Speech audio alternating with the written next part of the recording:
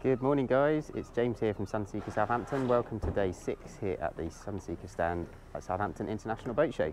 So today we're going to have a look around one of the recently launched Sunseeker 88 yachts. This is boat 503, which is the second one in the range, and this boat is actually currently available. So we kept her back ready for the show display here at the Southampton show. I hope you enjoyed the tour today with me having a look round. So obviously covered one of these fairly recently, which I did actually shoot some months ago. So it's nice to get back on board, see one that's been done slightly differently, different interior finishes and what have you. You see this beautiful profile shot here walking down the pontoon alongside her. So revision on what was the hugely successful 86 yacht before her, with this new window line running through the bulwark. So we've removed the option now for the drop-out balcony on the starboard side and elected to go instead with this beautiful cutaway glass section here. This particular boat finished in a rail white gel coat here, signature black boot top stripe there just above the waterline, and then we've got a gloss painted hard top.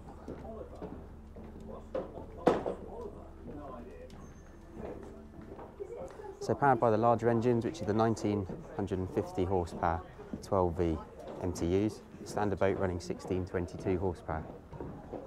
So the option for either. Absolutely wonderful. Built several 86 yachts, working on some exciting 88 projects at the moment. So on the stern here, upgraded platform on this particular yacht, 1000 kilo lift, which will take a 900 kilo tender. So 460 Williams, quite happily sits on the back there. We've elected to go for fixed rails on this particular build, but there is the option up top there if you wished to have a removable railing system and a jet ski, crane, etc. We'll have a look at that a little bit more detail when we get up on board. So just stepping on, the cleaning team are doing a wonderful job through the week here. Just going to leave them to, to finish off from the back here, but you'll see a much acclaimed Extend system, which we're running on a number of the new builds launched this year, where we've got this sort of mini storage come garage area, pop-up seat. On the underside of this lid there's a shower and some lighting and the whole seat arrangement here is currently up in the cockpit position. This drops down onto the bathing platform and then we have this giant sunbed come seat when you're at anchor. Crew space and engine room down the back here, we'll do that in a bit. Let's head up into the cockpit. Have a look around. So we're moving big push at the moment to loose furniture, as you can see here. Set up the sofas, works very nicely with that aft extend system. We can of course do fixed seat boxes in here on the sides. We can do a return on there this way round. Uh, fixed dining table, very much personal choice at this size to get what you want as an end user. So that drops back into the deck there and then down onto the aft transom area when you're at sea. Spinning around here, forward end of the cockpit, we've got the sink here, sort of small prep area, and then underneath, a fridge. This is a big storage cupboard over underneath the stairs, and then for docking, we've got the option in here to put a third station in. We don't fit them a standard from the factory as they often get requests for full wireless remote control systems these days. So you can see from that third helm the visibility running all the way from the bow up to the stern so you see why captains like to use the third station when coming into port. So let's start off inside, we'll have a look around the interior and then finish up top on the flybridge. So this particular boat finished in a lovely contrast here with the silver oak and the eucalyptus in a satin high sheen finish. This particular one set up with all the sofa area here on the port side and the TV opposite. We've got this lovely return on here, so it's a great social space, huge coffee table. There's some storage in the top, lifts up underneath all those lovely boat dressings. That's a 55 inch TV there up on the wall. We've got surround sound with the speakers up in the ceiling. Beautiful LED feature lighting here.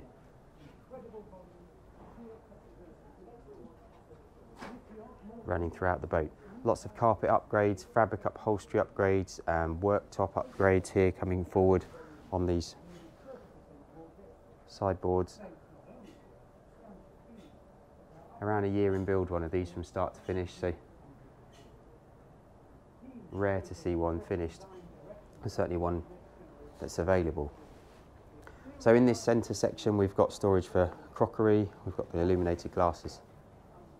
Storage here, dining table currently only got six seats round, you'd have typically another chair at either end of the table. And on this particular yacht, this is a fixed pane of glass here. You See this beautiful carbon fibre weave here. So there's a lot of carbon used in the modern builds for strength, rigidity, and also lightweight. Allows us to have these huge opening sections where historically you would have had much smaller port lights and what have you. So this is an optional sliding door as this particular yacht has. So where we typically would have had a balcony out there, now you can enjoy that vista and still look through the, the glass panel in the bulwark there. Uh, coming forward, so this is glasses storage, lovely stone tops here. Upgrade on the porcelain there. It's a nice feature. Backlighting on the shelves. So the boat is still very much in the realms of owner operator or fully crewed. So forward here, we can shut this wall behind the helm. We've got another door over here to keep sort of prep and what have you up forward there, and then guest entertainment area back here. But if you're an owner running this, she's under 24 metre load line, you've still very much got the opportunity to bring the family together and don't feel like you're tucked away out of the action. So up forward here we've got the main lower helm.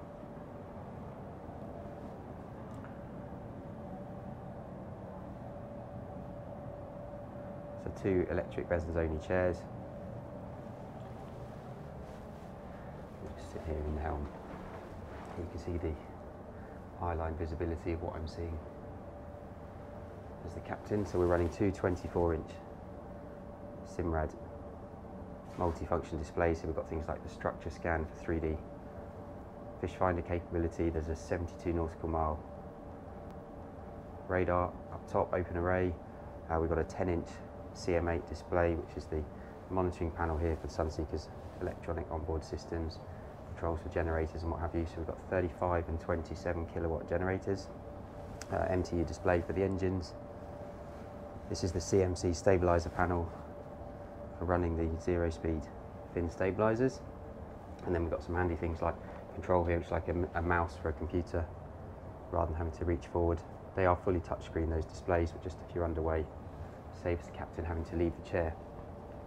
Uh, so this is MTU's docking system again, in that sort of uh, realms of owner operator, it does give you the option if you're not quite so comfortable with throttle and thruster controls. It's bringing everything together here.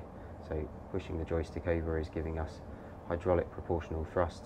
Twisting the top is engaging engines and gearboxes. We've got things like air conditioning panels here, various lighting systems. It's all nicely to hand. You can imagine spending a serious amount of time on board here. The boat has a range between 12 and 1500 nautical miles at fast displacement speed, which is generally how these are run these days, about 12 knots, I would say, is the typical cruising speed.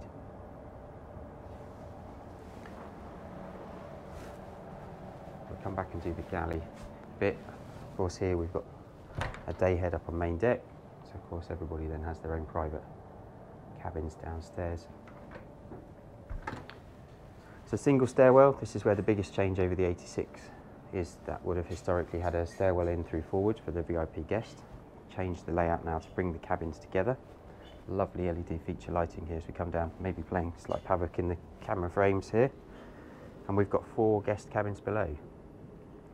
So if we start midships, currently configured as a double bed, there's actually a split through the middle here and the tracks in the floor there you'll see electronically this bed can slide across and that then gives you the ability if you're running as a charter boat or if you've got two families with two sets of kids you've got different solutions in here. We can do a drop down single what we call a pullman berth in here which would give you an additional two berths on the boat to bring it up to 10 if required lovely big picture windows there and opening port lights you See these beautiful leather inlays on the, on the handles. Stiff magnets there on the doors as she's obviously brand new. Ensuite tucked down behind. Again with some very clever use of light. Really, really have done the finish on this one very nicely. By one of my colleagues at Sunseeker London.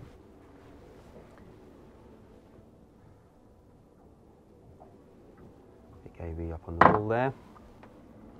So across here, this is much the same design. This one obviously laid out with the twins, so you can see how that works slightly differently. And again, we can do that Pullman berth up on the wall if required. I love things like these wall lamps, really, really detailed. Somewhere very special for a guest to come for the first time.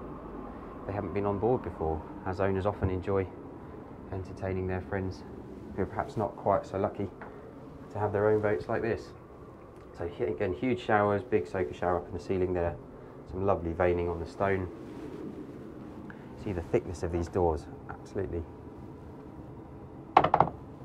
awesome. We've got um, acoustic foam around all the doors, so it's very quiet walking through the boat. So we referred upstairs earlier to the access to the guest cabin forward, and this is the new layout. So you will have seen this on the other tour that I covered not that long ago. And it gives you this huge second VIP suite, arguably I would say almost as nice as the main owner suite midships.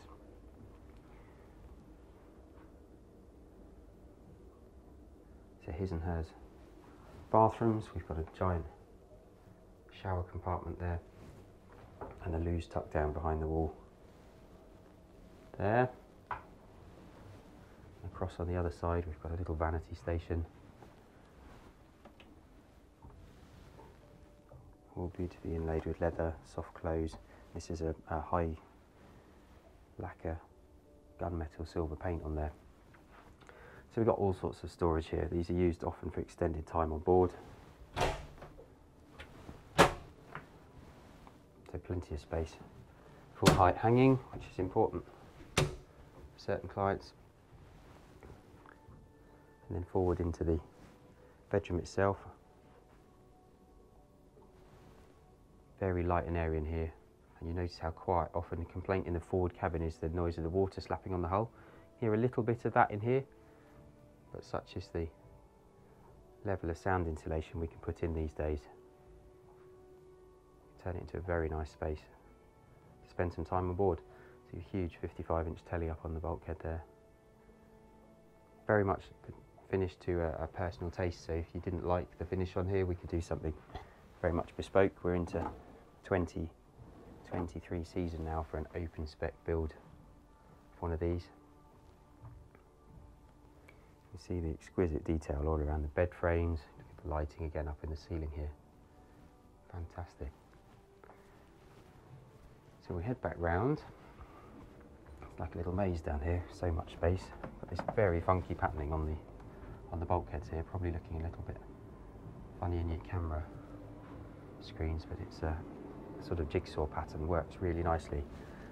So we've got things like laundry space, Again, trying to keep everything close to the guest cabin so that if you've got a, a stew doing bed makeup, everything's nice and close.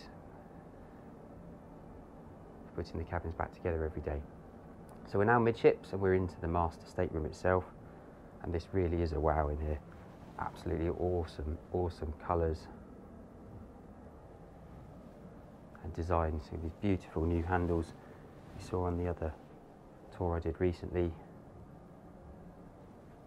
not quite the same looking out into Southampton docks here as down on the French Riviera or the Italian Amalfi coast. But nevertheless, loads of natural light coming in. Still fairly grim day here, hasn't got the sun out just yet. Yet still very, very bright and airy. Again, lovely feature LED lights here through the ceiling. Again, 55 inch TV up on the wall here. You can see this clever bulkhead finish, just something a little different to the fabrics and whatever you may have seen that we use generally on yachts such as this. So we've got lots of storage. There's options to put little drinks fridges and what have you in. Again, clever use of some, some lacquer in here.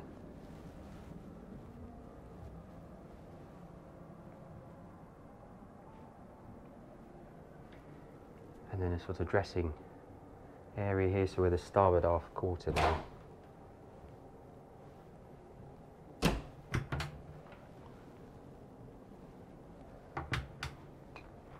So if you keep the boat down in the south of France, you can travel light, plenty of space to leave a lot of belongings on board. And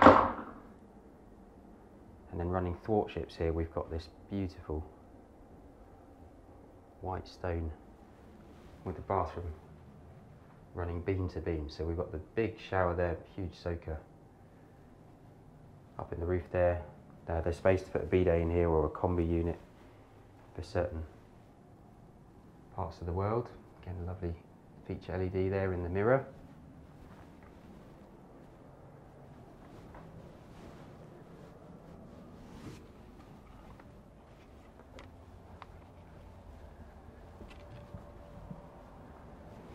Up, we'll have a look in the galley. They're just finishing off the cleaning for the day, so I don't want to disturb them. We can have a look in one of the other videos I did recently to see how this all works, but we've got under counter refrigeration here wine cooler, big drawers for storage, dishwashers in here, oven, microwave, 43 inch TV up on the wall there, lots of prep area. We've done away with the observation seating that we used to have on the previous 86 yacht. On the basis, to be honest, most of the time if the crew are off watch, they'll be down in the mess aft, or being, say, still very much an owner-operated proposition, they may well be that the owner doesn't want to give away that space as, um, as somewhere they don't really use on the yacht. So heading up the flybridge stairs here, let's take a look at the top deck. So you come up, you notice straight into the bar area as if you were running crewed boat. You've then got the option for easy access to things like the sink here, barbecue, we can do a larger grill in here if you if you wish, although the standard unit is pretty good. And then as you'd expect in a wet bar, got things like your ice maker, refrigeration drawers, uh, this particular one finished in this lovely sprayed silver lacquer. We've done a lot of work on our bar configurations over the last 12 months. Seen on the new Ocean 90, what have you, this lovely, again, stained steel inlays, and we've got the feature LED lighting that really makes the boat special at night time. So three fixed stalls, obviously you can remove those if you prefer to have this as a big open deck.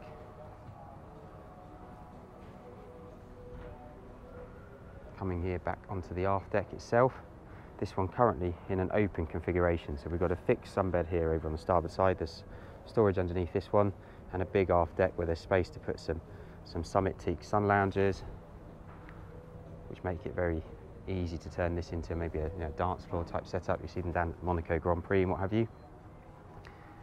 So various configurations we could do up here. So the option, we've drawn it but not yet built one with removable rails and we could have a jet ski or even two jet skis and a crane up here.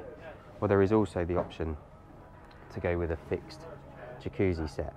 You'll notice if you watch my recent 28 metre refit series, you can actually do a full beam um, hot tub sun pad arrangement up top here or we could do a small hot tub here over on the starboard side underneath this pad and keep the deck free or even the option with a small tub and a jet ski. So there's quite a few different options depending on what an owner wants to achieve. You can see up top there, they've painted all of the radar arch and navigation equipment, which does actually, unfortunately, it invalidates the warranty on the nav kit, but it does look beautiful very much a personal owner's choice. And then on the back here, this is a pull-out electric sun awning to protect the aft deck on the hotter days. So we come forward, we've got the seating area here. These, of course, are opening leaves, so we can turn this into more of a coffee table style feel when required. And then helm on the starboard. So this is two 16-inch NSS Evo 3 displays there, much the same as you've seen downstairs. Everything is mirror, mirror image. So we've got the joystick system, thruster controls, and you can see here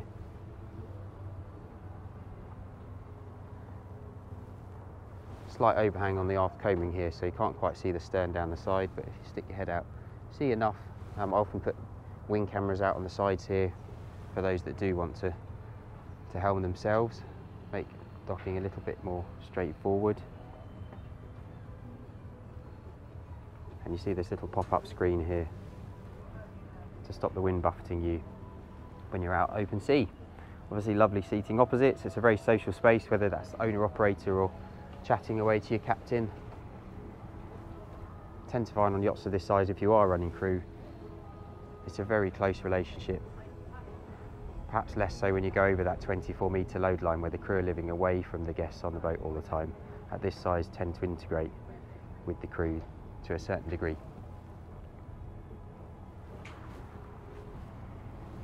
And we'll head up on the bow in a sec. So you can have a look around that, you can just see there seating and sun pad from a top-down angle.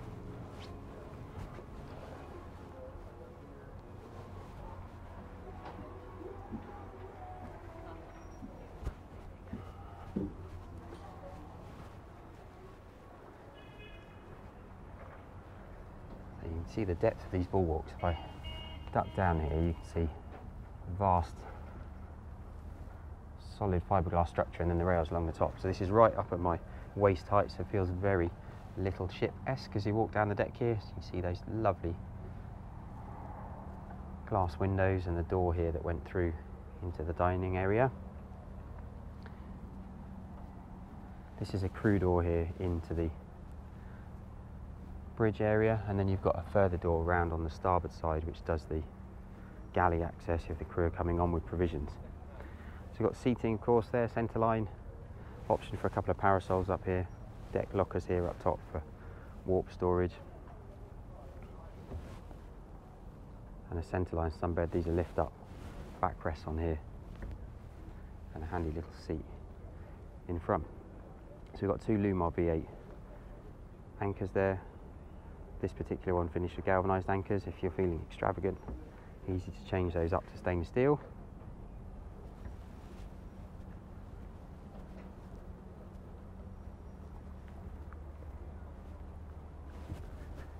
head back down to the cockpit.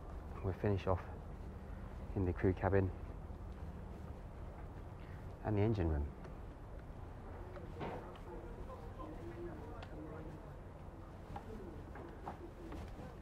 My shoes back on as that deck's looking a little bit damp down there still.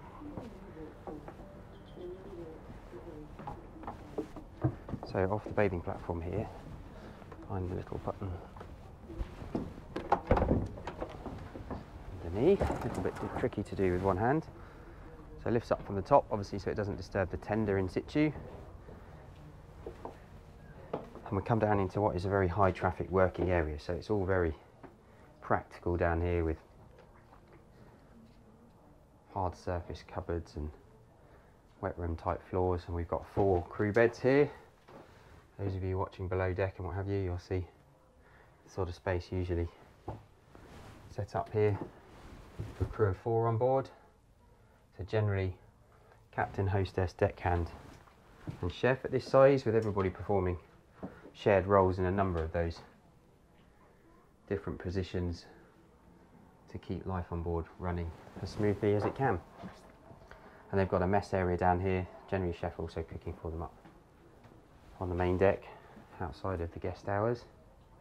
Uh, there's an upgrade with things like the CM8 and the Simrad 12 inch plotter on the wall there and you've got the full laundry facilities. Then we come forward to the engine room. So these are full of bits and pieces at the moment as obviously we're in boat show mode so people aren't encouraged to come in here. But we're on 12V engines here so we're a V-drive configuration. The gearboxes sit actually forward of the engines we'll just clamber in here around all the bits and talk you through so what's what. Atlas shore power converter system here, just stabilising the power for perhaps less reliable areas of operation. the yacht might be used. You can see all the heat adding on the giant exhaust systems here. They're sequential turbos, you can see them tucked across the top here, so the engines get up and boost very quickly. They're very impressive, these actually, to see them go from a standing start up onto a fully planing. Very little time at all. It's exquisitely finished on all the pipe work, everything's beautifully finished. You can see the generator sitting outboard of the engines there, charging and extraction systems. This is a water maker here up on the shelf over the port engine and the starboard this is an optional storage cage you can see how that gets used for engine spares and, and bits and pieces we've got a water softener system on this one uh, she's got a pressure wash anchor chain cleaning system very very high spec indeed see the fire suppression tucked over their starboard side uh, these are the deck parasols we talked about earlier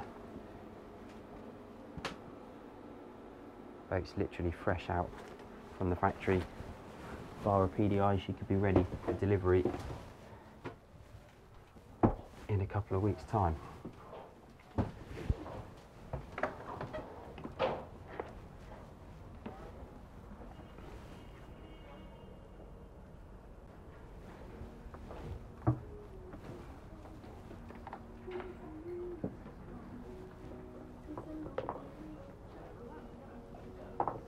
There you have it.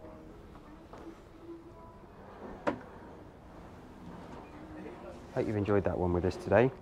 So say this boat is actually available and the show is running for another four days. So if you'd like the opportunity to come down and check her out in her full glory, please do get in touch directly. Priced as you see her here, she's just over 6.3 million pounds ex-VAT.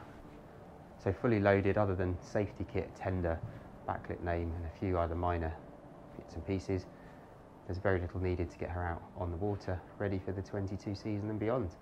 So as always, contact details, it's james at sunseekersouthampton.com or mobile is plus 44 7747 686 587. Hope you've enjoyed being on board with us today and join us again soon for another one here on the stand.